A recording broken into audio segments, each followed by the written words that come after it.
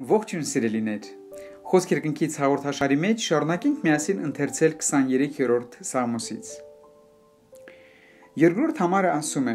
Նա կանաչ տեղերում հանգստացնում է ինձ եւ հանդարտ ջրերի մոտ տանում է ինձ։ Այո։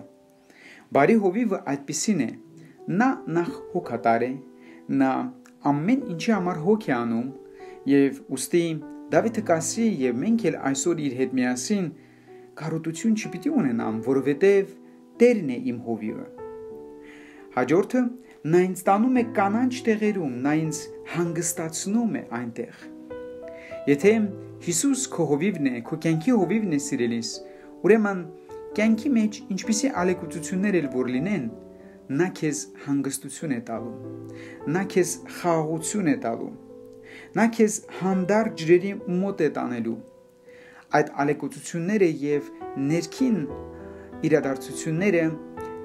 չեն կարողանալու խախտել քո ներսի խաղաղությունը։ Ոստի